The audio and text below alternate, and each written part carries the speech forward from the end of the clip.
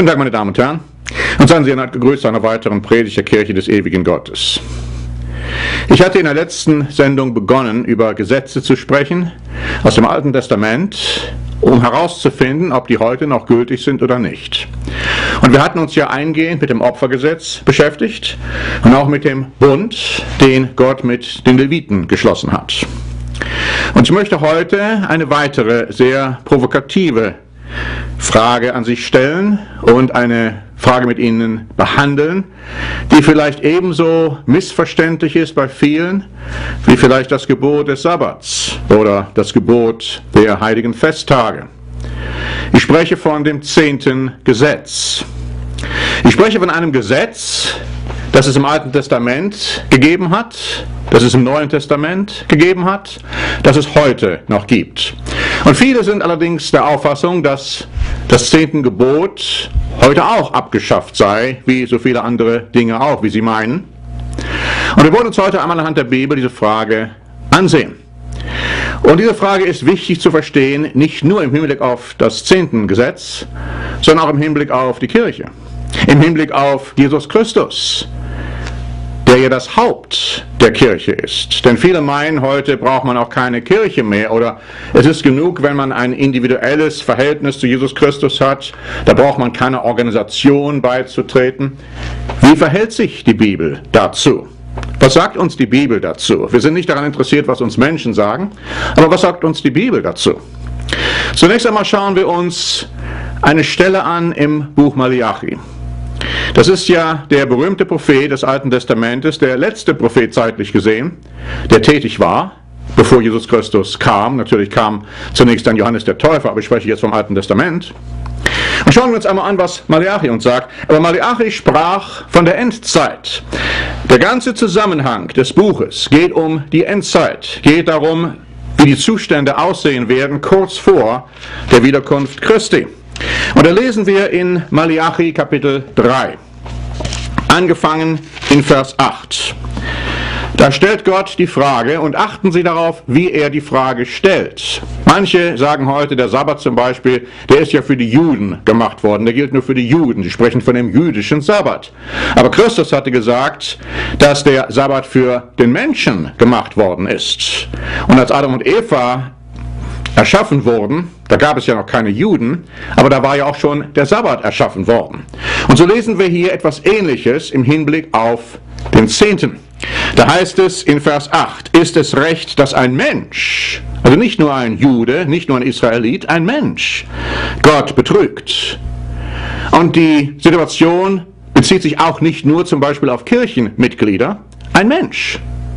Er stellt die Frage, ist es recht, dass ein Mensch Gott betrügt? Wie ihr mich betrügt. Ihr aber sprecht, womit betrügen wir dich?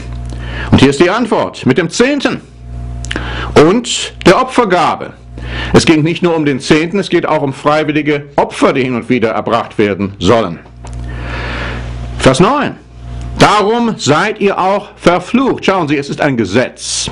Und wenn man ein Gesetz bricht, dann hat man den Fluch des Gesetzes über sich gebracht. Mit anderen Worten, die Strafe des Gesetzbruchs. Deswegen sagt Gott hier, seid ihr verflucht, denn ihr betrügt mich allesamt. Bringt aber die Zehnten in voller Höhe in mein Vorratshaus. Schauen Sie, der Zehnte bezieht sich auf den Zuwachs. Wenn Sie zum Beispiel Geld verdienen, wenn Sie einen Beruf haben, dann sind 10% dessen, was Sie verdienen, der Zehnte. Deswegen wird es ja auch der Zehnte genannt, der zehnte Teil Ihres Einkommens. Und so heißt es hier, bringt den Zehnten in voller Höhe in mein Vorratshaus, auf das in meinem Hause Speise sei, und prüft mich hiermit. Prüft mich hiermit, spricht der Herr Zebaoth, ob ich euch dann nicht des Himmels Fenster auftun werde und Segen herabschütten die Fülle. Viele meinen heute, sie könnten unmöglich den Zehnten zahlen. Sie kommen ja schon nicht mit dem aus, was sie überhaupt haben, mit den 100 Prozent. Nun, zunächst einmal müssen wir davon ausgehen, dass der Zehnte ihnen gar nicht gehört. Der Zehnte gehört Gott. Alles gehört Gott. Gott gibt ihnen das, was er für sie erschaffen hat, zum freien Genuss. Aber er verlangt von ihnen, dass sie 10 Prozent dessen, was sie einbringen, zurückgeben an Gott. Und er sagt, Sie könnt, ihr könnt die anderen 90 Prozent behalten. Und er sagt, wenn er dies tut, unabhängig davon, ob das jetzt auf eurem Papier da so zurechtkommt oder nicht, werde ich euch segnen. Und so verspricht er dies hier. Ich sagte vorhin, dass dieses Buch Malachi eine Prophezeiung noch für die Zukunft ist, denn wir lesen in Vers 22 im gleichen Kapitel, Gedenkt an das Gesetz meines Knechtes Mose, das ich ihm befohlen habe auf dem Berge Horeb für ganz Israel an alle Gebote und Rechte. Siehe, ich will euch senden den Propheten Elia, ehe der große und schreckliche Tag des Herrn kommt.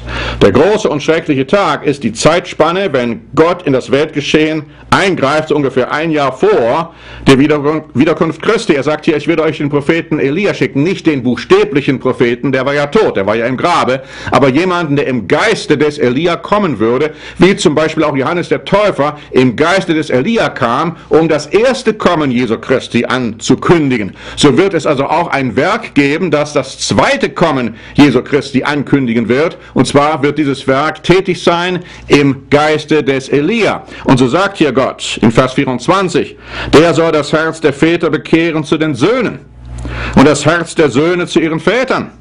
Mit anderen Worten, Familienverhältnisse sollen wieder aufgebaut werden, die im Argen liegen auf das ich nicht komme und das Erdreich mit dem Band schlage, oder wie es auch übersetzt werden kann, völlig vernichte. Schauen Sie, Jesus Christus hat gesagt, wenn er nicht zurückkommen würde, um diese Tage zu verkürzen, die kommen würden, es würde kein Mensch am Leben bleiben. Er spricht hier von der gleichen Zeit, der großen Trübsal, der Zeit, wenn alles vernichtet werden würde, es sei denn, um der auserwählten Willen, wie es heißt, werden diese Tage verkürzt werden. Der Zusammenhang wiederum? Das Zehntengesetz. Nach wie vor gültig. Schauen wir uns einmal im Neuen Testament an, was Jesus Christus dazu zu sagen hat im Buche Matthäus. Matthäus Kapitel 23 und in Vers 23. Matthäus Kapitel 23 in Vers 23. Und da sagt Christus zu den Schriftgelehrten und Pharisäern, die sich sehr darum bemühten, den Zehnten zu bezahlen, aber so ganz genau, so pingelig, dass sie nicht einen Pfennig zu wenig zahlen könnten oder zu viel. Und Christus sagt hier folgendes in Vers 23, wehe euch, Schriftgelehrte und Pharisäer, ihr Heuchler, die ihr den Zehnten gebt von Minze, Düll und Kümmel, also ganz pedantisch genau, und lasst das Wichtigste im Gesetz beiseite, nämlich das Recht, die Barmherzigkeit und den Glauben. Und in der Parallelstelle von Lukas wird dann auch noch die Liebe Gottes erwähnt. Aber schauen Sie sich an, wie Christus hier fortfährt zu sagen. Doch dies sollte man tun und jenes nicht lassen. Er hat also keineswegs hier gesagt, ja, ihr braucht euch nicht darum zu kümmern, den Zehnten zu zahlen. Im Gegenteil. Man soll das tun, aber man soll dabei natürlich nicht das Wichtigste im Gesetz, die Barmherzigkeit, die Liebe, das Recht und so weiter, ignorieren. Diese Dinge gehen natürlich Hand in Hand. Die sind wichtiger als eine Zehntenzahlung, wenn man es richtig betrachtet. Es geht nämlich auch um die Motivation, warum man es tut. Aber er sagt klar und deutlich, man soll es nicht unterlassen, es zu tun. Es ist nach wie vor damals ein Gesetz gewesen. Und sagen einige, ja, aber das war ja nur so lange, wie Christus hier auf Erden war als Mensch. Und als er dann starb, dann war das nicht mehr gültig. Da hat er das aufgehoben, wie er den Sabbat aufgehoben hat. Wie einige sagen, hat er die ganzen zehn Gebote aufgehoben und hat dann neue Gebote erlassen, die mit den zehn Geboten identisch sind, bis eben auf das eine des Sabbats. So war das keineswegs. Christus hat das zehnten Gesetz bestätigt hier. Aber er hat auch etwas anderes eingeführt und das lesen wir deutlich im Hebräerbrief. Schauen wir uns einmal den Hebräerbrief an. Da wird auch viel davon gesprochen, dass sogar diese Stellen, die wir jetzt lesen werden, angeblich uns zeigen, dass das zehnten Gebot heute nicht mehr verbindlich sei. Nun schauen wir uns sorgfältig an, was hier geschrieben steht. Hebräer, das siebte Kapitel. Hebräer Kapitel 7.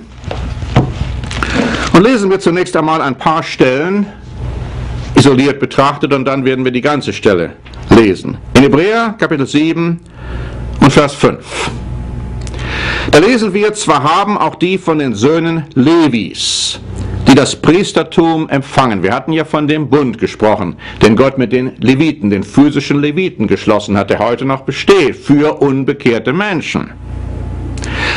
Aber gleichwohl würde hier eine Änderung stattfinden. Das heißt nämlich hier in Hebräer Kapitel 7 und Vers 5, zwar haben auch die von den Söhnen Levis, die das Priestertum empfangen, nach dem Gesetz. Welches Gesetz ist gemeint? Wir hatten auch in der letzten Predigt gesehen, das Wort Gesetz muss je nach den Umständen, den Zusammenhang betrachtet werden. Hier geht es um das Zehntengesetz, das Gesetz, das Gott den Leviten gab. Gott hat ja einen spezifischen Bund geschlossen mit den Leviten. Es heißt also hier, zwar haben auch die von den Söhnen Levis, die das Priestertum empfangen, nach dem Gesetz das Recht, den Zehnten zu nehmen vom Volk, also von ihren eigenen Brüdern, obwohl auch diese von Abraham abstammen. Also die Leviten hatten nach dem spezifischen Leviten oder levitischen Gesetz das Recht, den Zehnten entgegenzunehmen. Lesen wir weiter in Vers 11. Wäre nun die Vollendung durch das levitische Priestertum gekommen, denn unter diesem hat das Volk das Gesetz empfangen, aber welches Gesetz? Nicht das Gesetz des Mose, denn das kam ja durch Mose. Nein, das Gesetz an die Leviten.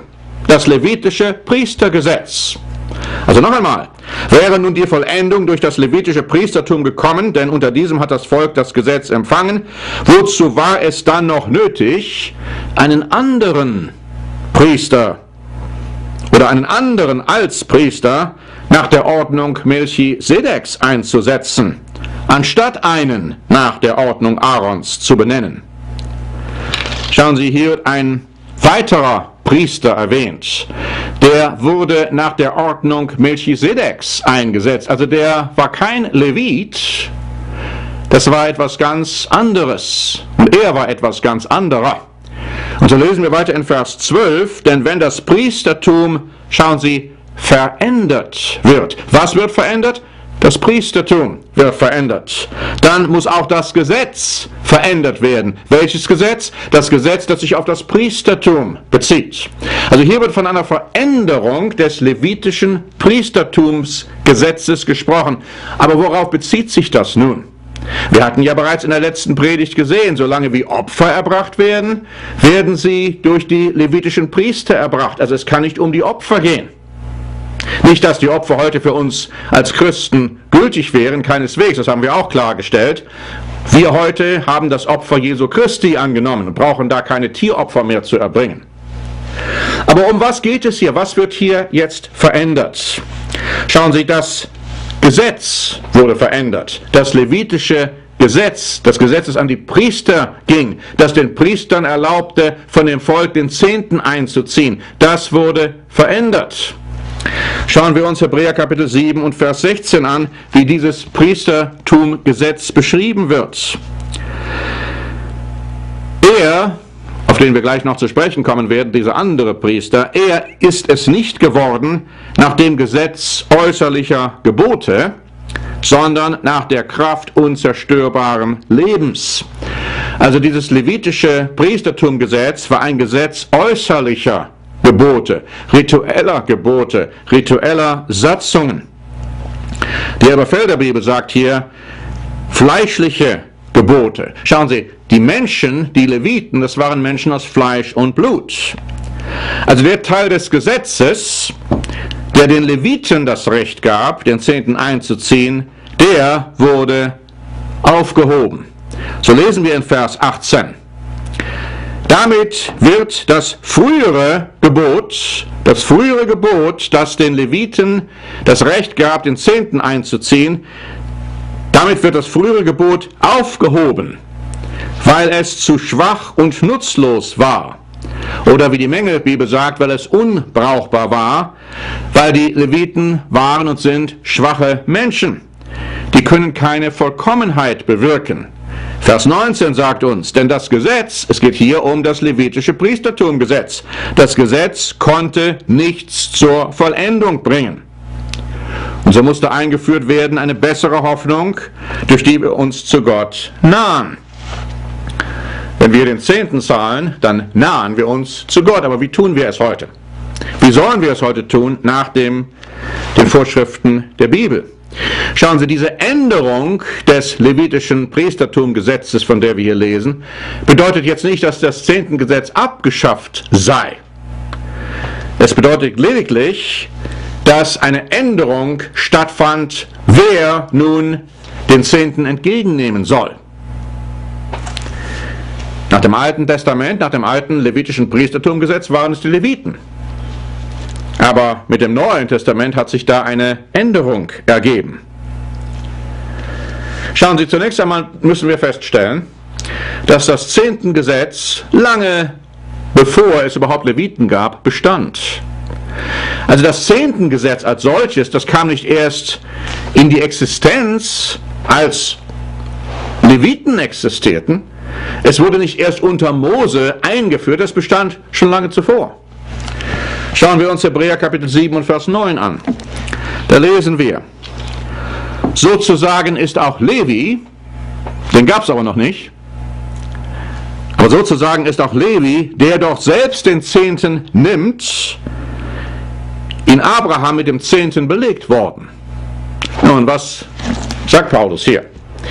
Er geht hier auf eine Zeit zurück, als Abraham den Zehnten an einen damaligen Hohenpriester gab, den Priester Gottes des Höchsten, lange bevor es überhaupt Leviten gab. Und Paulus sagt hier, also hier, der Levi, der nimmt zwar den Zehnten von dem Volk, aber er selbst hat quasi durch Abraham, der war also in Abrahams Lenden sozusagen, noch nicht geboren, den Zehnten selbst gezahlt. Paulus will hier also andeuten, dass derjenige, an den der Abraham den Zehnten zahlt, weitaus eine gewichtigere Vollmacht hat und hatte als Levi. Nun, worauf bezieht sich Paulus hier? Schlagen wir 1. Mose Kapitel 14 auf, gehen wir zurück zu 1. Mose Kapitel 14 und schauen wir uns an, was damals geschah. 1. Mose Kapitel 14.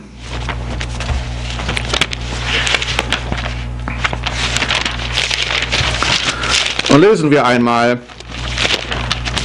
über das, was Abraham tat und stellen wir uns die Frage, warum tat Abraham das? War das so eine fixe Idee von ihm oder stand da mehr dahinter? Fangen wir an in Vers 18. Es geht ja darum, dass Abraham zurückkam, er hatte hier Beute gemacht. Vers 18. Aber Melchisedek, der König von Salem oder von Jerusalem, der trug Brot und Wein heraus. Und er war ein Priester Gottes des Höchsten. Wir werden nachher noch sehen, wer dieser Melchisedek war. Er wird hier dargestellt als der Priester Gottes des Höchsten. Und er segnete ihn und sprach, gesegnet seist du, Abraham, vom höchsten Gott, der Himmel und Erde geschaffen hat. Und gelobt sei Gott der Höchste, der deine Feinde in deine Hand gegeben hat. Und Abraham gab ihm den Zehnten von allem. Also der Abraham, der später Abraham dann genannt wurde, der gab diesem Melchisedek den Zehnten von allem, was er erworben hatte. Der Melchisedek war der Priester Gottes des Höchsten. In 1. Mose Kapitel 28. 1. Mose Kapitel 28. Da lesen wir auch eine interessante Stelle in Versen 20 bis 22, nur um hier aufmerksam darauf zu machen, dass es den Zehnten bereits lange vor Mose gab. Und die Menschen wussten das. Das Zehntengesetz bestand schon lange bevor überhaupt die zehn Gebote damals den Israeliten durch Mose wiederum verkündigt worden waren. Die zehn Gebote die bestanden nämlich auch schon seit Erschaffung des Menschen. Aber die hatten natürlich, die Israeliten, hatten die in Ägypten vergessen und verloren und mussten wieder daran erinnert werden. Und so lesen wir hier in 1. Mose 28 in Vers 20 bezüglich Jakob. Als der vor seinem Bruder Esau fliehen musste, weil der Esau ihn umbringen wollte, weil der Jakob ihn betrogen hatte, hatte den Vater Isaak betrogen. Und Jakob tat ein Gelübde und sprach, wird Gott mit mir sein und mich behüten auf dem Wege, den ich reise, und mir Brot zu essen zu geben und Kleider anzuziehen und mich mit Frieden wieder heim zu meinem Vater bringen, so soll der Herr mein Gott sein. Und dieser Stein, den ich aufgerichtet habe zu einem Steinmal, soll ein Gotteshaus werden. Und von allem, was du mir gibst, will ich dir den Zehnten geben. Nun, der Abraham, der hat es so getan, wie vielfach die Menschen heute es tun. Die wollen zunächst einmal gesegnet werden und dann geben sie den Zehnten. Er hätte es genau andersherum tun sollen. Er hätte schon von vornherein sagen sollen, ich werde dir gehorsam sein und dir den Zehnten geben, wie du es mir befohlen hast. Aber wir sehen auch hier an dieser Stelle, dass in der Tat Abraham und auch Jakob hier um den Zehnten wussten. Die wussten um den Zehnten, weil der Zehnte eben ein Gesetz war, ein Gebot war, was damals schon in Kraft war, das dann später natürlich, wie Malachi schreibt, in Kraft war, das im Neuen Testament in Kraft war und das nach Hebräer weiterhin in Kraft sein würde. Ursprünglich wurde der Zehnte an den Melchisedek gegeben, dann zur Zeit des Mose an die Leviten. Im Neuen Testament sagt Paulus, soll er wieder zurückgegeben werden an den Melchisedek, auf den wollen wir einmal kurz zu sprechen kommen. Wer war dieser Melchisedek? Zunächst einmal, Gottes Volk bezahlte den Zehnten lange noch bevor es Leviten gab. Wie wir gerade gesehen haben, die Leviten haben heute nicht mehr das Recht, den Zehnten einzunehmen, sondern dieses Recht wurde an einen anderen Priester übertragen. Und zwar, wie wir jetzt sehen werden, an Jesus Christus, nach der Ordnung des Melchisedek. Hebräer Kapitel 7. Hebräer Kapitel 7 und Vers 17. Hier ist jetzt von Jesus Christus die Rede. Da heißt es, denn es wird bezeugt, und hier wird sogar eine Stelle jetzt aus dem Alten Testament zitiert, aus Psalm 110 und Vers 4. Du, Jesus Christus, du bist ein Priester in Ewigkeit, nach der Ordnung Melchisedek. Sedeks. Und wenn wir jetzt diese gesamte Stelle lesen, Hebräer 7, werden wir sehen, dass es Jesus Christus ist, der kein anderer ist als dieser Melchisedek, der als Melchisedek zur Zeit des Abraham auftrat, der als Mensch gekommen ist dann im Zeitpunkt des Neuen Testamentes und der dann als Gott wiederum auch der ewige Priester oder hohe Priester nach der Ordnung des Melchisedek sein würde und bleiben würde und für alle Ewigkeit sein würde. Und heute ist er unser, unser hoher Priester, der für uns eintritt, wenn wir zu Gott, dem Vater, dem Höchsten, beten. Zunächst einmal Hebräer Kapitel 7 und lesen wir Vers 28. Hebräer Kapitel 7 und Vers 28. Da heißt es, das Gesetz, welches Gesetz? Nun lesen wir den Zusammenhang. Denn das Gesetz macht Menschen zu hohen Priestern. Wiederum, es geht um das levitische Priestergesetz. Das Gesetz macht Menschen zu hohen Priestern, die Schwachheit an sich haben. Das Wort des Eides aber, das erst nach dem Gesetz gesagt worden ist, setzt den Sohn ein der ewig und vollkommen ist. Der Sohn, Jesus Christus, würde das levitische Priestertum insoweit ablösen, dass er jetzt das Recht haben würde, das zu tun, was die Leviten tun durften, nämlich in diesem Zusammenhang den Zehnten entgegenzunehmen. Wer war dieser Melchisedek? Nun schauen wir uns einmal Kapitel 7 angefangen Vers 1 an was die Bibel uns deutlich sagt. Dieser Melchisedek aber war ein König von Salem, Jerusalem, Priester Gottes des Höchsten. Der ging dem Abraham entgegen, als der vom Sieg über die Könige zurückkam und segnete ihn. Ihm, Vers 2, gab Abraham auch den Zehnten, wie wir das gerade gelesen hatten im ersten Buch Mose, von allem. Also der hat nicht irgendwie gesagt, also das Beste, das halte ich zurück.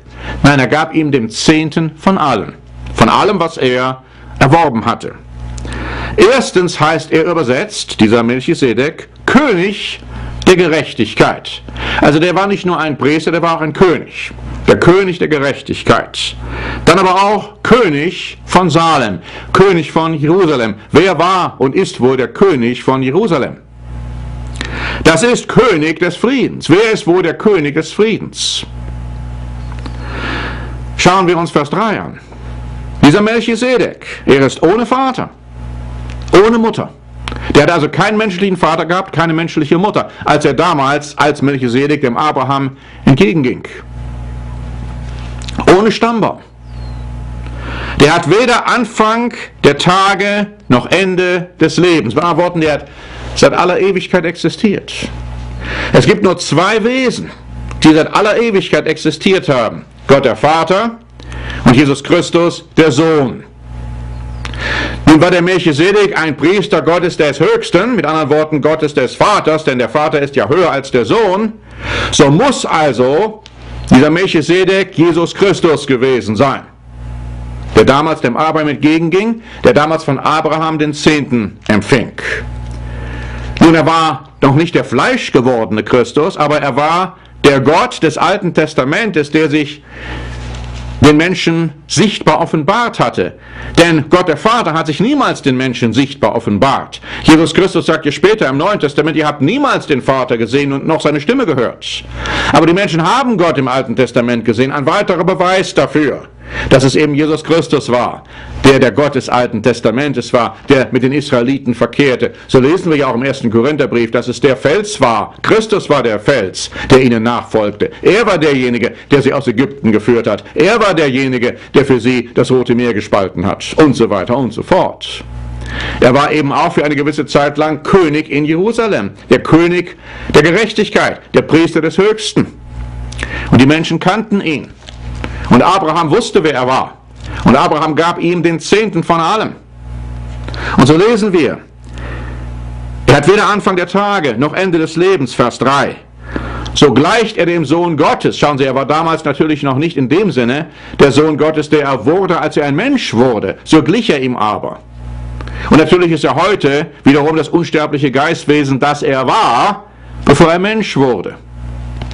Und so lesen wir, er bleibt Priester in Ewigkeit. Also er bleibt Priester in Ewigkeit. Kein Levit wird diese Stelle ihm abspenstig machen können. Und jetzt lesen wir weiter in Vers 4. Seht aber, wie groß der ist, dem auch Abraham, der Erzvater, den Zehnten gab von der eroberten Beute. Zwar haben auch die von den Söhnen Levis, die das Priestertum empfangen, nach dem Gesetz das Recht, den Zehnten zu nehmen vom Volk, aber von ihren eigenen Brüdern obwohl auch diese von Abraham abstammen. Der aber, der nicht von ihrem Stamm war, das war ja kein Levit, der nahm den Zehnten von Abraham und segnete den, der die Verheißungen hatte. Nun ist aber unwidersprochen, dass das Geringere vom Höheren gesegnet wird. Und hier nehmen den Zehnten sterbliche Menschen, dort aber einer, dem bezeugt wird, dass er lebt. Nicht, dass er lebte, dass er lebt. Als Paulus dies schrieb, lebte dieser Melchisedek. Der lebte, weil er eben Jesus Christus war, der Sohn Gottes, der einzige Mensch, der gestorben ist und wieder auferweckt worden ist zu ewigem Leben. Der Erstgeborene, unter vielen Brüdern, die noch kommen werden. Diese Auferstehung wird noch stattfinden, wenn Jesus Christus zurückkommt. Aber heute lebt Melchisedek, Jesus Christus, unser Hohepriester. Er ist derjenige, dem der Zehnte gegeben wurde. Er ist derjenige, dem heute der Zehnte gegeben werden soll. Nicht den Leviten, das war nur zeitweilig, vorübergehend. Und so lesen wir in Vers 9. Und sozusagen ist auch Levi, der doch selbst den Zehnten nimmt, in Abraham mit dem Zehnten belegt worden. Denn er sollte seinem Stammvater ja erst noch geboren werden, als Melchisedek diesem entgegenging.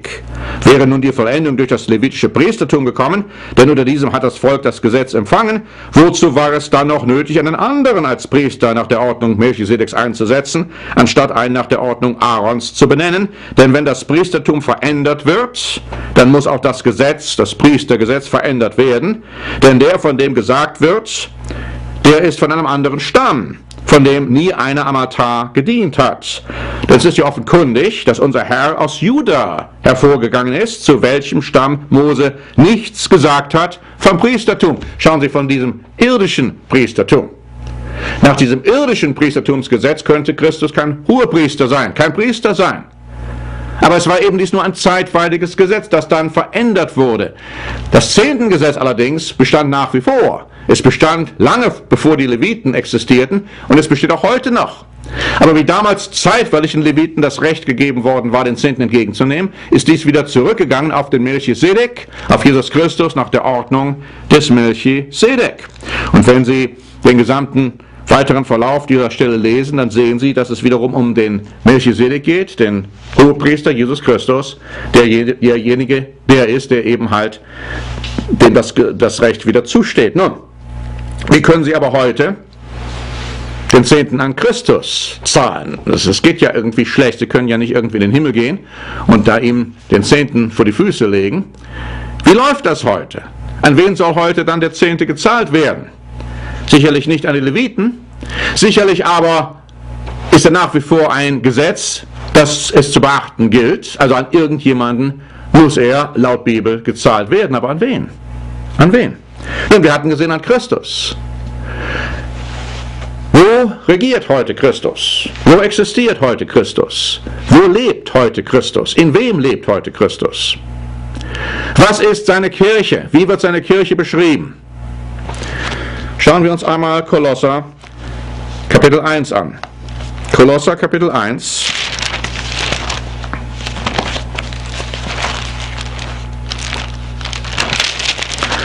Und lesen wir einmal Vers 18.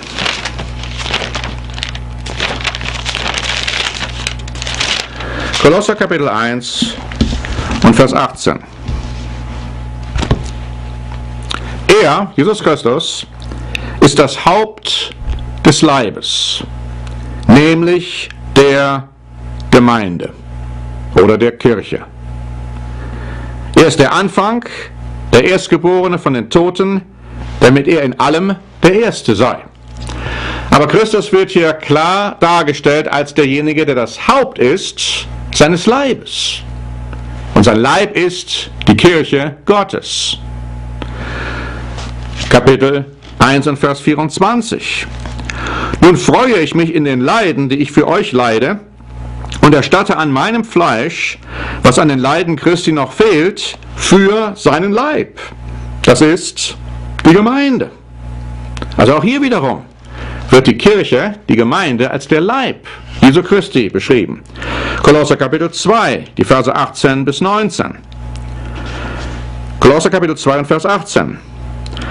Lasst euch den Siegespreis von niemandem nehmen, der sich gefällt in falscher Demut und Verehrung der Engel und sich dessen rühmt, was er geschaut hat und ist ohne Grund aufgeblasen in seinem fleischlichen Sinne und hält sich nicht an das Haupt, von dem her der ganze Leib durch Gelenke und Bänder gestützt und zusammengehalten wird und wächst durch Gottes Wirken. Auch hier wiederum wird Jesus Christus als das Haupt seiner Gemeinde bezeichnet. Wenn Sie ein wahrer Christ sind, wenn Jesus Christus in Ihnen lebt durch seinen Geist, dann sind Sie Teil seines Leibes. Sie können sich nicht einfach jetzt von diesem Leib abschneiden und sagen, ich will damit nichts zu tun haben, ich will mit keiner Organisation etwas zu tun haben, denn ich habe ein individuelles Verhältnis mit meinem Schöpfer und Herrn Jesus Christus. Nein, er ist das Haupt des Leibes, der Gemeinde, der Kirche. Man kann es nicht alleine tun. Jesus Christus macht das ganz deutlich. Schauen wir uns Johannes Kapitel 15 an. Johannes Kapitel 15, die Verse 4 bis 7. Bleibt in mir und ich in euch. Wie die Rebe keine Frucht bringen kann aus sich selbst, wenn sie nicht am Weinstock bleibt, so auch ihr nicht, wenn ihr nicht in mir bleibt. Ich bin der Weinstock, ihr seid die Reben. Wer in mir bleibt und ich in ihm, der bringt viel Frucht, denn ohne mich könnt ihr nichts tun. Wer nicht in mir bleibt, der wird weggeworfen wie eine Rebe und verdorrt, und man sammelt sie und wirft sie ins Feuer, und sie müssen brennen. Wenn ihr in mir bleibt und meine Worte in euch bleiben, werdet ihr bitten, was ihr wollt, und es wird euch widerfahren. Ja, nun sagen einige, ja, das ist ja eine individuelle Beziehung zwischen mir und Christus. Also solange wie ich in Christus bleibe, bleibt der in mir und dann ist ja alles in Ordnung. Schauen Sie, es geht hier nicht um die Einzahl, von der Christus hier spricht, es geht hier um die Mehrzahl. Er sagt, wenn ich in euch bleibe und ihr in mir. Und er macht das ganz deutlich in Kapitel 17. Johannes 17 und in Vers 11, in dem hohepriesterlichen Gebet, das er spricht, kurz vor seiner Gefangennahme, kurz vor seiner Verhaftung, seiner Marterung, seiner Kreuzigung. Johannes 17 und Vers 11. Da sagt er zu Gott dem Vater, dem Höchsten, ich bin nicht mehr in der Welt, sie aber sind in der Welt, ich komme zu dir. Heiliger Vater, erhalte sie in deinem Namen. Was ist der Name Gottes des Vaters? Gott wie wir das schon ein paar Mal jetzt gelesen haben. Melchisedek war der Hohepriester Gottes des Höchsten. Deswegen heißt heute auch seine Kirche die Kirche Gottes oder die Kirche des ewigen Gottes, die Kirche Gottes. Erhalte sie in deinem Namen. Und so lesen wir, erhalte sie in deinem Namen, den du mir gegeben hast, dass sie, dass sie, wer?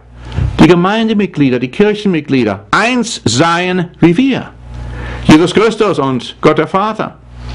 Eine Einheit wird hier beschrieben, soll hier beschrieben werden, Vers 20.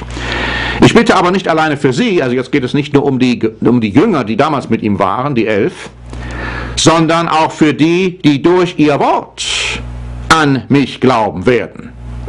Damit sie alle eins seien. Wie du, Vater, in mir bist und ich in dir, so sollen auch sie in uns sein, damit die Welt glaube, dass du mich gesandt hast. Ich habe ihnen die Herrlichkeit gegeben, die du mir gegeben hast, damit sie eins seien, wie wir eins sind. Als ein individueller Christ, von allem abgeschlossen, können sie niemals eins sein mit anderen Christen. Und schon mal gar nicht mit Gott dem Vater und Jesus Christus in der gleichen Weise, wie Gott der Vater und Jesus Christus eins sind. Deswegen haben wir zum Beispiel diese Predigten, damit wir ihnen helfen können, diese Einheit zu erlangen, die Einheit im Glauben, die Einheit in der Erkenntnis. Und wenn wir Gelegenheit haben, zusammenzukommen, wie zum Beispiel während des Festes, des Lapüttenfestes oder Tage der ungesäuerten Brote, auf das ich gleich noch zu sprechen kommen werde, oder an anderen Gelegenheiten, benutzen wir die Gelegenheit. Schauen wir uns Matthäus Kapitel 16 an. Matthäus Kapitel 16, denn hier hat auch Jesus Christus etwas gesagt, was einigen nicht so passt. Nun, eine große Organisation hat diese Stelle auch hoffnungslos verwirrt und verdreht. Aber schauen wir uns an, was Christus sagt. Matthäus Kapitel 16, angefangen in Vers 18. Da hatte nämlich Petrus, Simon Petrus, erkannt, wer Jesus Christus war. Er sagte, du bist der Sohn Gottes. Du bist Christus, des lebendigen Gottes Sohn. Und Christus sagt, ja, das hat dir aber Fleisch und Blut nicht offenbart, sondern mein Vater im Himmel hat dir das offenbart, wer ich bin. Und jetzt sagt er hier in Vers 18, ich sage dir auch, du bist Petrus, ein kleiner Kiesel im Griechischen, Petros. Und auf diesen Felsen, Petra im Griechischen, jetzt bezieht er sich auf sich selbst, er sagt, du bist zwar Petros, du bist ein Stein, ein kleiner Stein, aber auf diesen Felsen, Petra, auf mich selber, Jesus Christus, will ich meine Gemeinde bauen. Schauen Sie, die Gemeinde ist erbaut worden auf dem Fundament der Propheten und der Apostel, wo aber Jesus Christus der Eckstein ist, der wichtigste Stein. Also Christus hat seine Gemeinde auf sich erbaut. Petrus würde ein Teil des Fundamentes sein, wie die anderen Apostel, wie die Propheten vor ihm bereits schon. Aber schauen wir uns an, was er noch sagt. Die Pforten der Hölle sollen sie nicht überwältigen. Die Gemeinde, die Kirche Gottes würde für alle Ewigkeit existieren. Und sie hat die gesamten Jahrhunderte hindurch existiert. Aber die meisten Menschen wissen nicht, wo sie zu finden ist. Sie suchen überall an den falschen Stellen. Schauen Sie, die Gemeinde, die Kirche Gottes hält zunächst einmal den Sabbat, hält die heiligen Festtage. Diese Lehre würde beibehalten werden. Sie können in der Geschichte nachforschen, zu welchen Zeiten die Kirche Gottes bestand, durch wen sie bestand, wer zum Beispiel den Sabbat hielt, wer zum Beispiel die heiligen Festtage hielt. Und so gab es nie eine Zeit, wo es nicht die wahre Kirche Gottes gegeben hat. Und so gibt es sie auch heute noch. Und Christus hat dies versprochen. Er hat gesagt, die Pforten der Hölle sollen sie nicht überwältigen. Aber er hat noch etwas gesagt. Und das ist auch wichtig für uns zu begreifen. Vor allen Dingen für diejenigen, die so an das individuelle Christentum glauben. Die meinen, sie bräuchten keine Kirche, sie bräuchten keine Organisation. Sie bräuchten keine Organisation beizutreten. Sie könnten sich taufen lassen und dann ihrer Wege gehen. Schauen Sie, was hier gesagt wird. Vers 19. Ich will dir die Schlüssel des Himmelreiches geben. Schlüssel sind etwas, was etwas aufschließt oder zuschließt. Er sagt den Pharisäern, ihr schließt den Eingang zum Reich Gottes zu. Ihr geht nicht hinein, ihr lasst die anderen nicht hineingehen.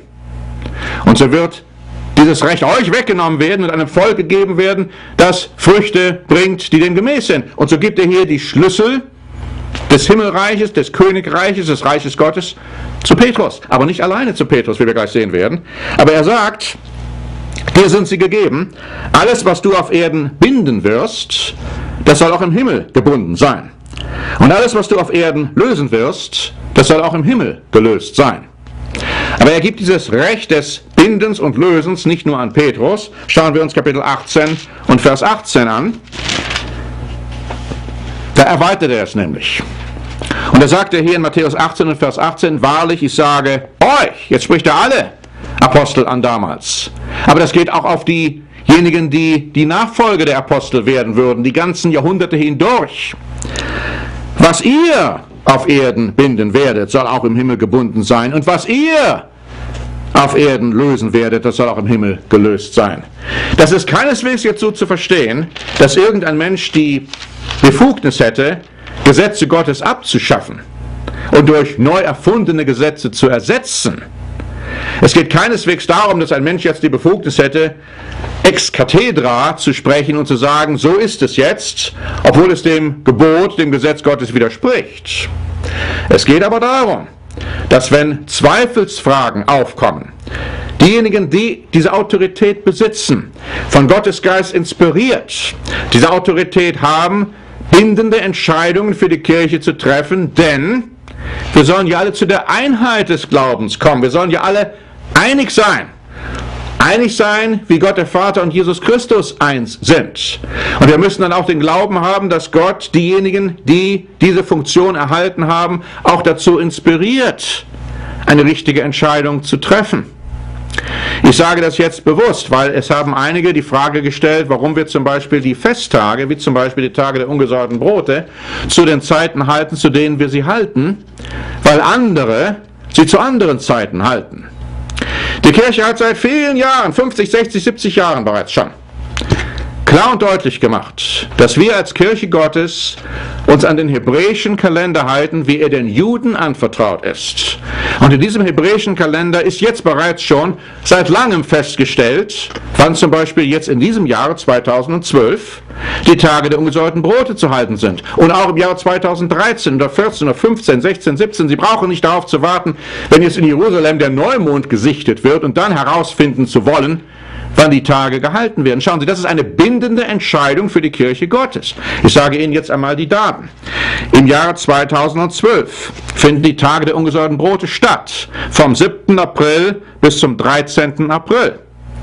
Das Passa, das also nur für getaufte, bekehrte Mitglieder der Kirche Gottes gilt. Die sollte, das sollte nicht von jemandem genommen werden, der noch nicht getauft ist. Das findet am Abend des 5. Aprils statt.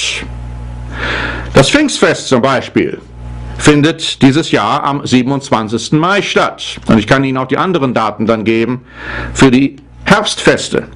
Aber ich kann Ihnen auch bereits schon sagen, wann am im Jahre 2017, nur um das als Beispiel zu nennen, das Passa gehalten wird.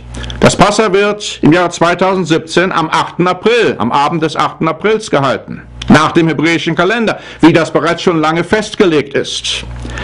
Die Tage der ungesäuerten Brote vom 11. bis zum 17. April also wie gesagt, es geht nicht darum, jetzt zu warten, wann der Neumond sichtbar ist. Das ist alles bereits schon festgelegt worden. Es ist von den Juden festgelegt worden. Gott hat, es den Juden anvertraut.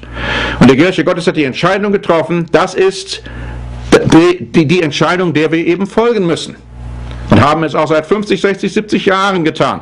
Und wir brauchen es nicht jedes Jahr wieder erneut mit dieser Frage zu konfrontieren und zu beschäftigen, weil einige daherkommen, die meinen, die wissen es besser. Wussten Sie, dass es über 400 Kalendervariationen gibt von Menschen, die meinen, sie hätten jetzt die Wahrheit gefunden, wie man die Festtage zu berechnen hätte? Das ist keine Einheit. Das ist Verwirrung. Das ist Unordnung. Und Gott ist kein Gott der Unordnung, sondern er ist ein Gott des Friedens und der Einheit. Wir müssen heute nach wie vor den Zehnten zahlen. Aber wir müssen ihn eben an den Leib Christi zahlen. Und der Leib Christi ist die Kirche Gottes. Und Sie müssen herausfinden, wo die Kirche Gottes ist. Die Kirche, die den Namen hat, die Kirche, die die Gesetze lehrt und die Kirche, die auch danach lebt und die Ihnen erklärt, was die Wahrheit ist. Gibt es heute eine solche Kirche? Muss ein Christ organisiert sein? Oder kann er individuell so sein Leben leben? Schauen wir uns einmal Hebräer Kapitel 10 an, was zunächst Paulus hierzu sagt. Hebräer Kapitel 10, die Verse 23 bis 25. Lasst uns festhalten an dem Bekenntnis der Hoffnung und nicht wanken, denn er ist treu, der sie verheißen hat. Und lasst uns aufeinander Acht haben und uns anreizen zur Liebe und zu guten Werken und nicht verlassen unsere Versammlungen, wie einige zu tun pflegen, sondern einander ermahnen und das umso mehr, als ihr seht, dass sich der Tag naht. Wenn man die Gelegenheit hat, eine, eine Gemeinde der wahren Kirche Gottes zu besuchen, eine Versammlung, dann soll man es tun. Und nicht irgendwie dem gleichgültig gegenüberstehen und sagen, auch ich brauche da nicht hinzugehen. Paulus warnt davor. Er sagt, bei einigen ist das jetzt Usus geworden, das zu tun. Aber das soll man nicht tun. Aber diese Stelle, die setzt natürlich auch voraus, dass es zunächst einmal eine Gemeinde, eine Kirche Gottes gibt, wo sich Menschen versammeln. Alten Testament wurde Israel die Gemeinde oder die Kirche der Wüste genannt. Heute ist es die Kirche Gottes. Schauen Sie, das geistliche Israel. Und schauen wir uns einige Stellen an, die uns klar und deutlich beweisen, dass die Kirche Gottes heute organisiert ist, sein muss. Dass es nicht darauf ankommen kann, dass jeder so individuell in den Tag hineinlebt. In Epheser Kapitel 2, Epheser Kapitel 2, angefangen mit Vers 19.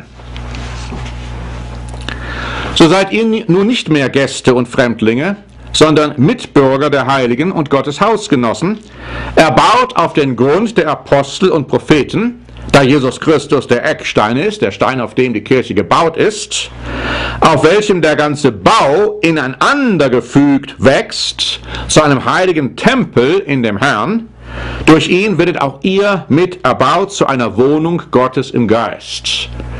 Eine ganz klare Stelle, die uns zeigt, dass die Kirche Gottes organisiert ist. Sie wird mit einem Tempel verglichen. Und wir sind alle Bestandteile dieses Tempels. Aber nicht eben isoliert. Epheser Kapitel 3, die Verse 5 bis 6. Dies war in früheren Zeiten den Menschenkindern nicht kundgemacht, wie es jetzt offenbart ist durch seinen heiligen Aposteln und Propheten, durch den Geist, nämlich, dass die Heiden Miterben sind und mit zu seinem Leib gehören und Mitgenossen der Verheißung in Christus Jesus sind durch das Evangelium, dessen Diener ich geworden bin durch die Gabe der Gnade Gottes, die mir nach seiner mächtigen Kraft gegeben ist. Also hier wiederum auch wird zunächst einmal gesagt, dass den Propheten und Aposteln etwas kundgetan wurde, dass nämlich die Heiden, also die Nicht-Juden, Teil sein sollten des Leibes Jesu Christi, der Kirche Jesu Christi, der Kirche Gottes. Kapitel 4, Epheser Kapitel 4, angefangen Vers 1. So ermahne ich euch nun, ich der Gefangene in dem Herrn, dass ihr der Berufung würdig lebt, mit der ihr berufen seid, in aller Demut und Sanftmut, in Geduld. Ertraget eine den anderen in Liebe. Nun, wie kann man einer den anderen in Liebe ertragen, wenn es überhaupt gar keine Kirche gäbe? Seid darauf bedacht, zu wahren die Einigkeit im Geist durch das Band des Friedens. Ein Leib. Ein Leib. Ein Geist, wie ihr auch berufen seid zu einer Hoffnung eurer Berufung. Ein Herr, ein Glaube, nicht zehntausend verschiedene Glaubensschattierungen, eine Taufe, die richtige. Ein Gott und Vater aller, der da ist über allem und durch alle und in allen. Die Verse 11 bis 16. Und er, Jesus Christus, hat einige als Apostel eingesetzt wir hatten bis vor einigen Jahren einen Apostel in Gottes Kirche, Herbert W. Armstrong, der allerdings gestorben ist. Heute haben wir zurzeit keinen Apostel in Gottes Kirche. Aber die Bibel zeigt uns, dass es wohl doch noch welche geben wird in der Zukunft. Einige als Propheten. Auch hier haben wir zurzeit keine Propheten in Gottes Kirche. Und es gibt auch keine Propheten irgendwo anders von Gott inspiriert worden sind, aber die Bibel zeigt uns, dass es in der Zukunft wiederum Propheten geben wird. Einige als Evangelisten, einige als Hirten und Lehrer. Warum? Warum hat Gott das so organisiert? Damit die Heiligen zugerüstet werden zum Werk des Dienstes. Dadurch soll der Leib Christi erbaut werden. Die Kirche setzt also voraus, dass einige Evangelisten sein werden, einige Pasteure, einige Lehrer, einige Prediger, Älteste, damit der Leib Christi erbaut werde. Warum? Bis wir alle hingelangen zur Einheit des Glaubens. Christus sagte ja, wir sollen alle eins sein wie Gott der Vater und Jesus Christus eins sind, damit sie alle hingelangen zur Einheit des Glaubens, der Erkenntnis des Sohnes Gottes, mit anderen Worten der Erkenntnis, die Jesus Christus, der Sohn Gottes, hat. Wir sollen zu seiner Erkenntnis kommen, die er uns geben will, zum vollendeten Mann zum vollen Maß der Fülle Christi, damit wir nicht mehr unmündig sein und uns von jedem Wind einer Lehre bewegen und umhertreiben lassen durch trügerisches Spiel der Menschen, mit dem sie uns arglistig verführen. Lass uns aber wahrhaftig sein in der Liebe und wachsen in allen Stücken zu dem hin, der das Haupt ist, Christus, von dem aus der ganze Leib zusammengefügt ist, ein Glied am anderen hängt, durch alle Gelenke, wodurch jedes Glied das andere unterstützt, nach dem Maß seiner Kraft und Macht, dass der Leib wächst und sich selbst erbaut in der Liebe. Also wenn man solche Stellen lesen kann und meint, die Kirche, die bräuchte heute nicht mehr zu existieren, die braucht nicht organisiert zu sein, der versteht nichts von dem, was die Bibel sagt. Absolut nichts. 1. Korinther, Kapitel 12. 1. Korinther, Kapitel 12. Die Verse 12 bis 14. 1. Korinther, Kapitel 12, die Verse 12 bis 14. Da lesen wir, denn wie der Leib einer ist, und doch viele Glieder hat, alle Glieder des Leibes aber, obwohl sie viele sind, doch ein Leib sind, so auch Christus. Denn wir sind durch einen Geist alle zu einem Leib getauft. Wir seien Juden oder Griechen, Sklaven oder Freie und sind alle mit einem Geist getränkt. Denn auch der Leib ist nicht ein Glied, sondern viele. Und wenn der Fuß spräche, ich bin keine Hand, darum bin ich nicht Glied des Leibes, sollte er deshalb nicht Glied des Leibes sein?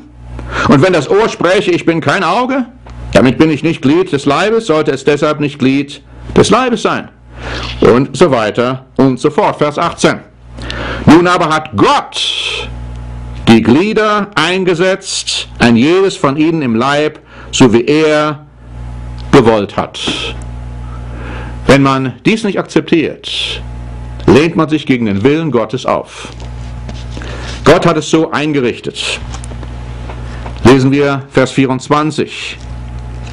Aber Gott hat den Leib zusammengefügt und dem geringeren Glied höhere Ehre gegeben, damit im Leib keine Spaltung sei, sondern die Glieder in gleicher Weise füreinander sorgen. Und wenn ein Glied leidet, so leiden alle Glieder mit.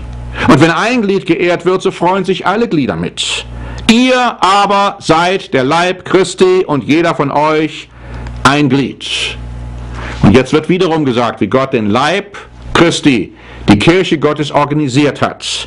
Und Gott hat in der Gemeinde eingesetzt. Schauen Sie, Gott hat es getan. Sie können nicht einfach jetzt jemanden einsetzen und meinen, ja, der ist also jetzt in meinen Augen ordiniert. Nein, Gott hat in der Gemeinde eingesetzt. Erstens Apostel, zweitens Propheten, drittens Lehrer, dann Wundertäter, dann Gaben gesund zu machen, zu helfen, zu leiten, mancherlei Zungenrede, mit anderen Worten das Talent, in vielen Sprachen zu sprechen. Ich spreche zum Beispiel zu Ihnen jetzt in Deutsch, kann aber auch in and zu anderen in Englisch sprechen. Dummerweise kann ich jetzt noch nicht in Spanisch sprechen. Aber wie gesagt, das ist hier mit Zungenrede gemeint, nicht irgendwie eine nebulöse Art von metaphorischem Reden, die keiner verstehen kann, wo man sich dann irgendwie auf den Boden schmeißt und herumrollt und meint, man hätte jetzt die Gabe der Zungenrede erlangt. Aber Gott hat das getan. Schauen Sie, Gott hat die Menschen so in seinen Leib gefügt. Kehren wir zu Kapitel 11 zurück. 1. Korinther Kapitel 11.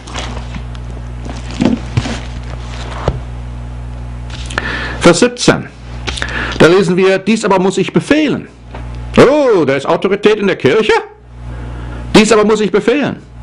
Ich kann es nicht loben, dass ihr nicht zu eurem Nutzen, sondern zu eurem Schaden zusammenkommt. Es geht hier um den Zusammenhang des Passa. Hier war die Kirche in Korinth, die hielt das Passa in unwürdiger Weise.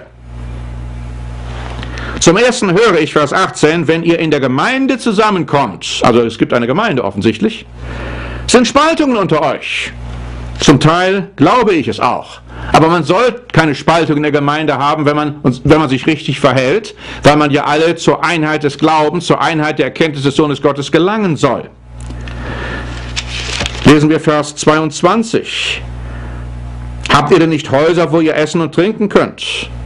Oder verachtet ihr die Gemeinde Gottes und beschämt die, die nichts haben?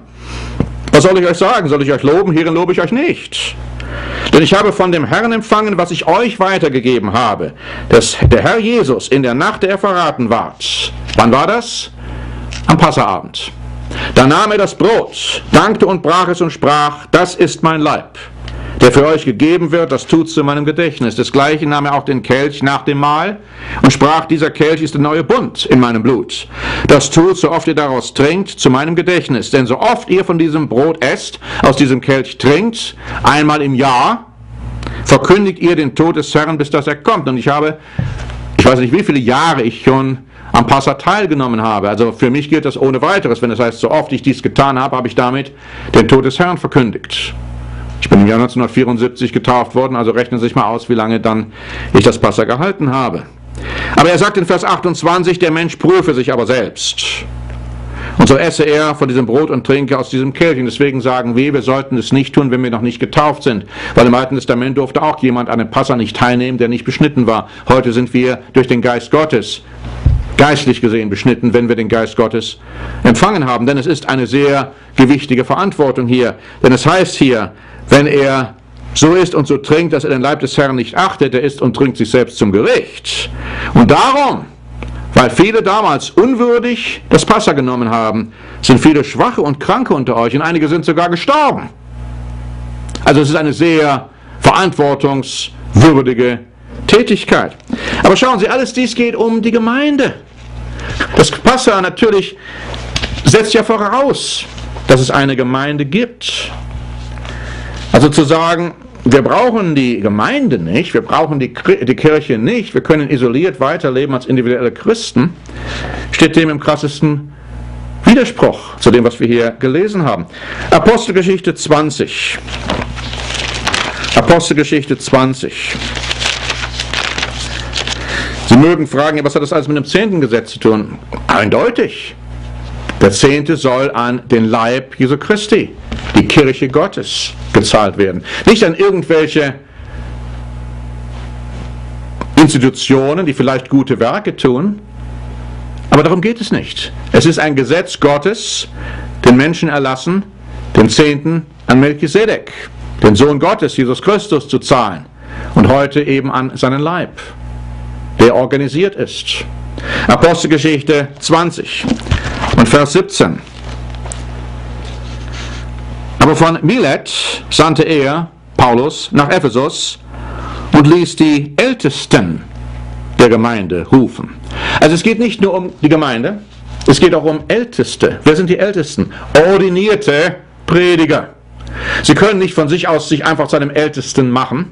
Es waren ordinierte Prediger, wie wir gleich sehen werden. Und die mussten ordiniert werden von anderen Ältesten und denen musste die Hand aufgelegt werden, die Hände mussten denen aufgelegt werden. Die mussten in diesem Sinne Gott gegenüber als derjenige oder diejenigen präsentiert werden, die jetzt das Amt der Ältesten empfangen würden.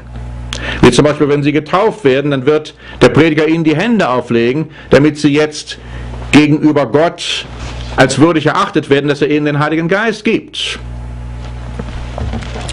Ältesten wurden eingesetzt von Gott durch andere Älteste. Schauen wir uns einmal 1. Timotheus Kapitel 4 an. Und es sind die Ältesten, denen die Macht gegeben ist, das Recht gegeben ist, zu binden und zu lösen. Nicht der gesamten Gemeinde, die Kirche Gottes war niemals eine Demokratie. Die Kirche Gottes, wie wir auch gesehen haben, ist eine Hierarchie. Gott hat eingesetzt zuerst Apostel, Propheten, Evangelisten und so weiter und so fort. Es ist eine Hierarchie.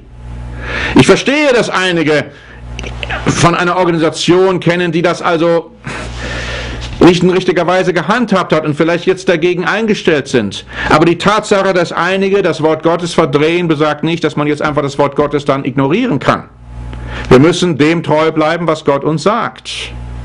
Und so lesen wir in 1. Timotheus Kapitel 4 und in Vers 14. Paulus sagt hier zu Timotheus, einem Evangelisten, Paulus der Apostel spricht zu dem Evangelisten Timotheus, lass nicht außer Acht die Gabe in dir, die dir gegeben ist durch Weissagung mit Handauflegung der Ältesten. Es geht zunächst einmal um die Taufe Es geht aber auch darum, dass Timotheus zu einem Evangelisten ordiniert wurde, durch Handauflegung der Ältesten. Und wir haben immer schon gesagt, dass wenn jemand zu einem Prediger ordiniert wird, Gott ihm dann eine extra Portion des Heiligen Geistes gibt, damit er seine Aufgabe erfüllen kann. Wie auch im Alten Testament gewisse Menschen durch den Geist besondere Fähigkeiten erhalten hatten, sogar handwerkliche Fähigkeiten, um zum Beispiel an dem Bau der Schiffshütte teilnehmen zu können. Und so lesen wir hier in 1. Timotheus Kapitel 5 und in Vers 22. Da sagt nämlich jetzt der Paulus dem Timotheus, die Hände lege niemandem zu bald auf. Also nicht vorschnell jemanden taufen, nicht vorschnell jemanden ordinieren. Habe nicht teil an fremden Sünden, halte dich selber rein. Man soll also nicht eine Verantwortung tragen, man ordiniert jetzt jemanden vorschnell zu einem Prediger und dann der missbraucht seinen Amt und Paulus sagt, ja, dann hast du in gewisser Weise eine Verantwortung dabei, weil du das zu schnell getan hast. Also er warnt davor.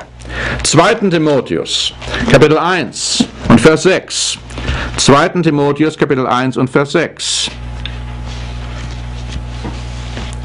Aus diesem Grunde erinnere ich dich daran, dass du erwächst die Gabe Gottes, die in dir ist, durch die Auflegung meiner Hände, sagt Paulus wiederum zu Timotheus. Die Gabe Gottes, der Heilige Geist, der ihm, dem Timotheus jetzt durch die Auflegung der Hände zur Ordination und zur Ordinierung in größerem Maße gegeben wurde.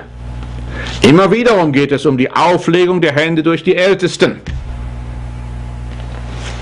Lesen wir Titus, Kapitel 1 und in Vers 5.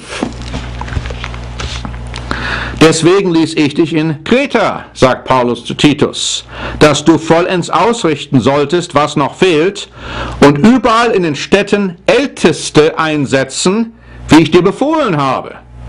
Also Paulus hat dem Titus gesagt, geh zu den Gemeinden und sehe, wer da als ein Ältester privilegiert ist und ordiniere ihn zu einem Ältesten. Setze ihn ein als einen Ältesten, einen Vorsteher, einen Prediger innerhalb der Gemeinde.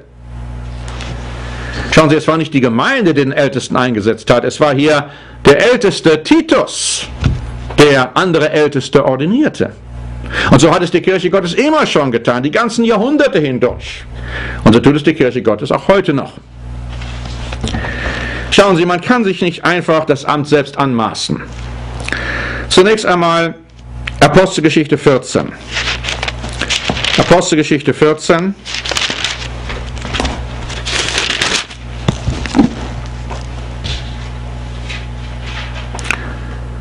Vers 23.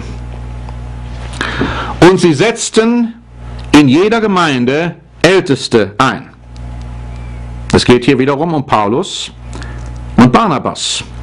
Beteten und fasteten und befahlen sie dem Herrn, an den sie gläubig geworden waren. Auch hier wiederum geht es um das Einsetzen von Ältesten, durch in diesem Fall die Apostel, in jeder Gemeinde. Hebräer Kapitel 5 gibt uns ein gutes Beispiel, wie man zu einem Prediger wird, werden kann. Wie zum Beispiel ein Hohepriester zu einem Hohepriester geworden ist. Weil der selbst ein Hohepriester werden wollte? Hebräer Kapitel 5 und Vers 4.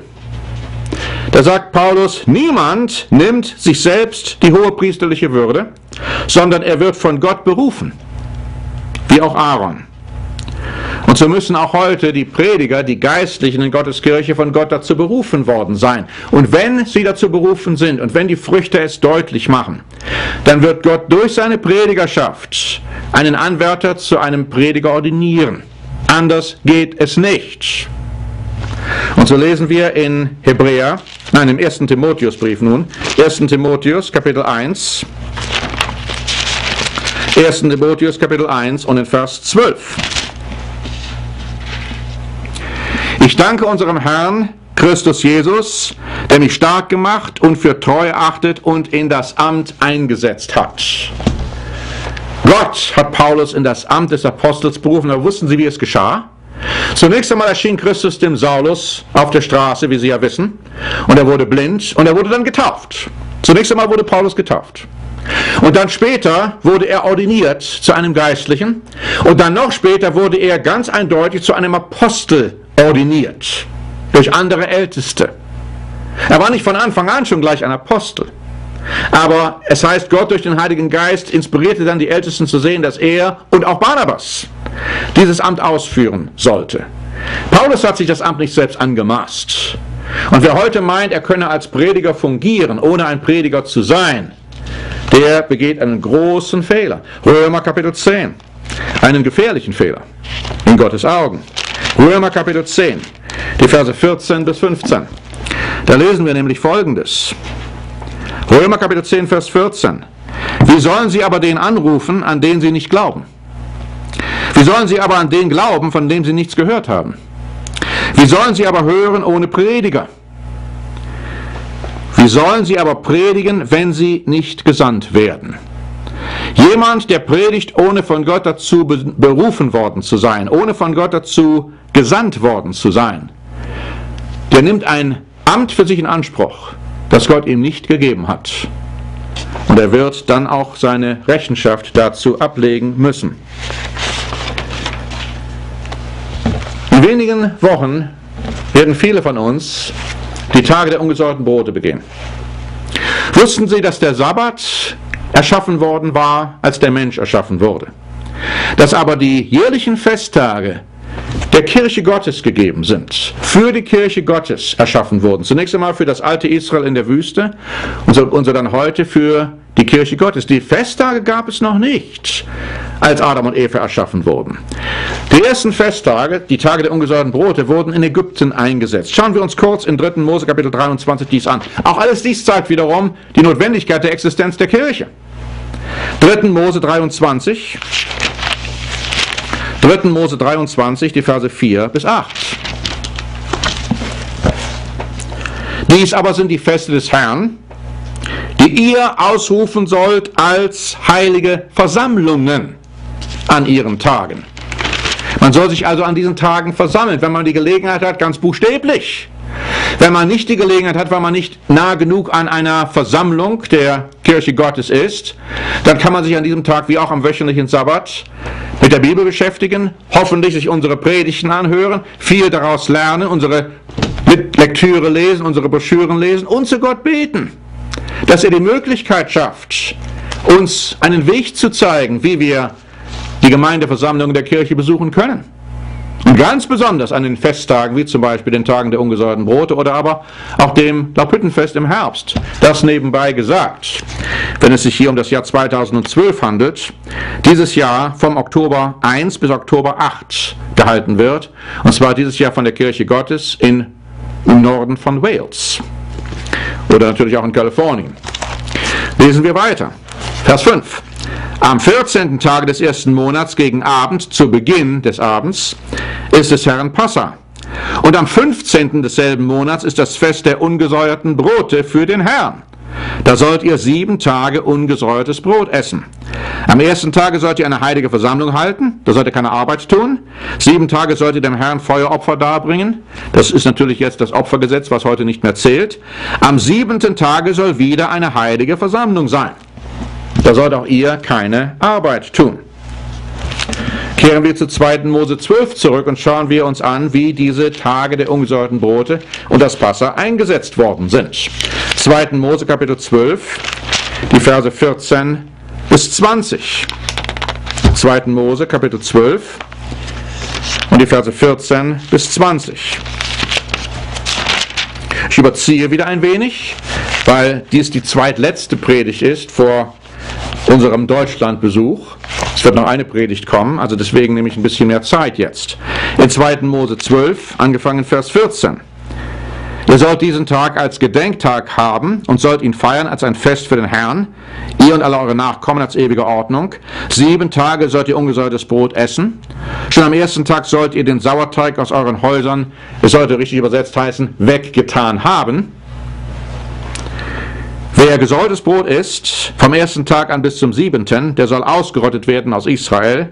Am ersten Tag soll heilige Versammlung sein, am siebten Tag soll auch heilige Versammlung sein. Keine Arbeit sollt ihr dann tun, nur was jeder zur Speise braucht, das allein dürft ihr euch zubereiten. Haltet das Gebot der ungesäuerten Brote. Denn eben an diesem Tage habe ich eure Scharen aus Ägyptenland geführt. Darum sollt ihr diesen Tag halten, ihr und alle eure Nachkommen als ewige Ordnung.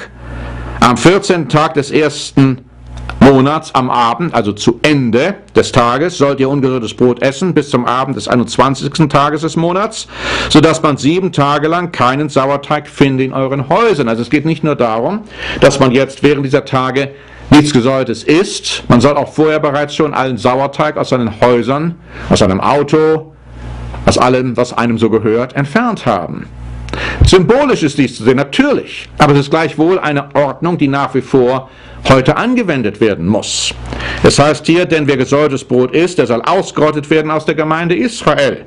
Auch ein Fremdling oder ein Einheimischer des Landes, keinerlei gesäuertes Brot sollt ihr essen, sondern nur ungesäuertes Brot. Das heißt natürlich nicht, dass man nichts weiter essen kann als ungesäuertes Brot. Es geht darum, man soll kein gesäuertes Brot essen, sondern eben nur ungesäuertes. Das bedeutet nicht, dass man jetzt zum Beispiel keine andere Nahrung zu sich nehmen kann, aber wenn man die Nahrung zu sich nimmt, die muss eben ungesäuert sein. Darum geht es. Er sagt hier, Ihr sollt ungesäuertes Brot essen, also ungesäuerte Nahrung zu euch nehmen, wo immer ihr wohnt. War das im Neuen Testament noch der Fall? War das im Neuen Testament noch nach der Auferstehung Jesu Christi der Fall? Oder sind diese Gebote, die Tage der ungesäuerten Brote, heute abgeschafft? Nun Apostelgeschichte 20. Apostelgeschichte 20. Da lesen wir in Vers 6. Eine interessante Feststellung, die kaum verständlich wäre, wenn heute oder auch damals, als dies geschrieben worden war, es die ungesäuerten Brote nicht mehr gab. Da heißt es nämlich in Apostelgeschichte 20 und Vers 6, wir aber fuhren nach den Tagen der ungesäuerten Brote mit dem Schiff von Philippi ab und kamen am fünften Tage zu ihnen nach Troas und blieben dort sieben Tage. Nun, der Lukas hat das aber an den Theophilus geschrieben, an den Heiden. Also nicht unbedingt an einen Juden, der möglicherweise von den Tagen der ungesäuerten Brote gehört haben mag, nein, der schrieb an einen Heiden, der wusste aber, worum es hier ging, weil die Tage nach wie vor gehalten wurden, auch für die Heiden. Und so lesen wir in 1. Korinther Kapitel 5, dass Paulus ganz klar macht, dass die Heiden die Tage der ungesäuerten Brote in der Kirche Gottes gehalten haben. 1. Korinther Kapitel 5 lesen wir angefangen Vers 6. Da sagt er zu den Korinthern, einer heidnischen, also nicht jüdischen Gemeinde, euer Rühmen ist nicht gut. Wisst ihr nicht, dass ein wenig Sauerteig den ganzen Teig durchsäuert? Darum schafft den alten Sauerteig weg, damit ihr ein neuer Teig seid, wie ihr ja ungesäuert seid. Und einige sagen, ja, die waren ungesäuert, weil die eben keine Sünde hatten. Genau das Gegenteil ist der Fall.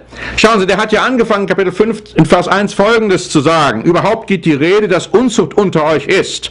Und zwar eine solche Unzucht, wie sie es nicht einmal unter den Heiden gibt. Dass einer die Frau seines Vaters hat. Und ihr seid aufgeblasen. Sie, Sauerteig bläht auf. Ihr seid aufgeblasen und seid nicht viel mehr traurig geworden.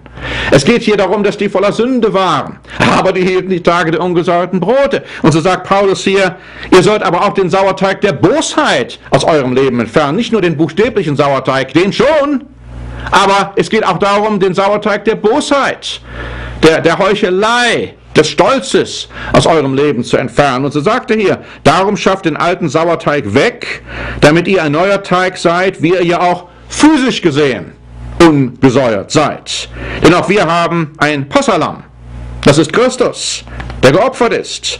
Darum, Vers 8, lasst uns das Fest feiern. Welches Fest? Das Fest der Tage der ungesäuerten Brote. Aber wie? Lasst uns das Fest feiern, nicht im alten Sauerteig, nicht im Sauerteig der Bosheit und der Schlechtigkeit, sondern im ungesäuerten Teig der Lauterkeit und der Wahrheit. Das hat auch symbolische Dimensionen. Christus warnte die Jünger und er sagte, hütet euch vor dem Sauerteig der Pharisäer. Und er sprach aber nicht vom buchstäblichen Brot, er sprach von der Lehre der Pharisäer. Und so sagt der Paulus hier, nun ihr haltet die Tage der ungesäuerten Brote, aber ihr haltet sie nach wie vor in einer geistlich gesehen schlechten Weise. Ihr habt geistlich gesehen auch immer Sauerteig, schafft den auch weg. Das ist die Bedeutung der Tage der ungesäuerten Brote, dass man sich dessen bewusst wird, dass man Sünde in sich trägt, die man beseitigen soll. In diesem Falle steht, die Sünde wird mit dem Sauerteig verglichen.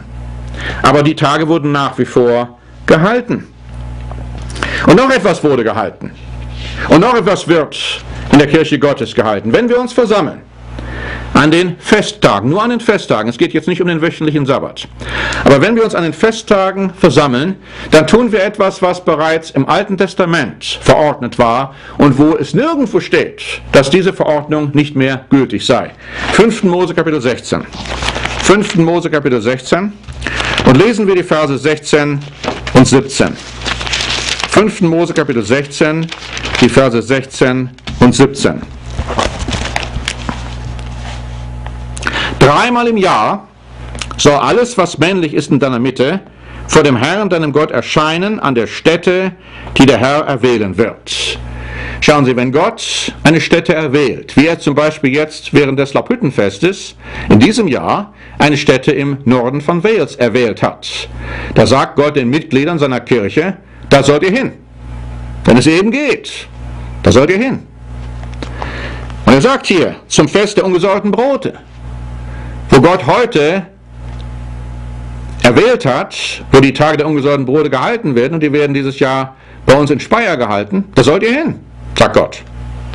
Zum Tage der ungesäuerten Brote, zum Wochenfest, dem Pfingstfest und zum Laubhüttenfest. Sie sollen aber nicht mit leeren Händen vor dem Herrn erscheinen, sondern ein jeder mit dem, was er zu geben vermag, nach dem Segen, den dir der Herr dein Gott gegeben hat. Es geht hier um freiwillige Opfergaben. Es geht nicht um den Zehnten. Schauen Sie, der Zehnte ist eine befohlene Anordnung. Es geht hier um freiwillige Opfergaben, die zusätzlich zu dem Zehnten, aber nur an diesen Festtagen gegeben werden sollen, und zwar nach dem Segen, den, der Gott, den Gott uns gegeben hat. Das ist eine Sache, die man sich selbst überlegen muss. Wie ist man gesegnet? Aber schauen Sie, Paulus sagt uns hier im zweiten Korintherbrief, wir müssen aufpassen, dass wir auch das wieder nicht zu einer Routine werden lassen und uns nicht klar werden über die Bedeutung dessen, was hier gesagt ist. Denn Gott, sehen, wo, Gott will sehen, wo unser Herz ist. Christus sagt, ist euer Herz hier auf Erden? Wollt ihr euch hier Schätze auf Erden errichten oder wollt ihr euch Schätze im Himmel sammeln, wo eben Motto und Trost nicht kommen können, um das alles dann zunichte zu machen? 2. Korinther, Kapitel 9. 2. Korinther, Kapitel 9 lesen wir die Verse 5 bis 7. So habe ich es nun für nötig angesehen, die Brüder zu ermahnen, dass sie voranzögen zu euch, um die von euch angekündigte Segensgabe vorher fertig zu machen, so dass sie bereit liegt als eine Gabe des Segens und nicht des Geizes. Wir sollen uns auch heute auf die Opfer, diese Opfergaben, siebenmal an den sieben heiligen Festtagen vorbereiten. Wir sollen nicht geizig sein, heißt es hier. Ich meine aber dies, Vers 6. Wer da kärglich sät, der wird auch kärglich ernten. Und wer da sät im Segen, der wird auch ernten im Segen. Ein jeder, wie er es sich im Herzen vorgenommen hat, nicht mit Unwillen oder aus Zwang, denn einen fröhlichen Geber hat Gott lieb. Das ist das Prinzip, das auch hinter den Opfergaben stehen soll, das auch hinter dem Zehnten stehen soll. Wenn man den Zehnten nur gibt, weil man ihn geben muss, dann hat man den Sinn der zehnten Gabe, des zehnten Zahns total missverstanden. Einen fröhlichen Geber hat Gott lieb und es ist derjenige, der von Gott gesegnet werden wird, wie wir dies im Buch Malachi bereits gelesen haben. Ich hoffe, Sie haben heute aus der Bibel sehen können, wie wichtig es ist, dass wir die Gebote Gottes halten. Dass wir nicht meinen, wir könnten einfach gewisse Dinge ignorieren, weil die uns nicht so passen. Dass aber auch wichtig ist, dass wir den Zehnten zahlen, aber auch an die richtige Stelle. Und dass wir ihn aus der richtigen Motivation heraus zahlen. Und dass wir auch nicht meinen, dass wir individuell einfach so als Christen in Anführungszeichen weiterleben könnten, wie uns das gerade so passt. Und uns abschneiden von dem Leib Jesu Christi, der Kirche Gottes. Denn wenn wir dies tun, dann sagt uns Christus, ihr würdet sein wie die Rebe, die letztendlich verdorren wird. Ich bedanke mich für Ihre Aufmerksamkeit in Norbert Link für eine Predigt der Kirche des ewigen Gottes.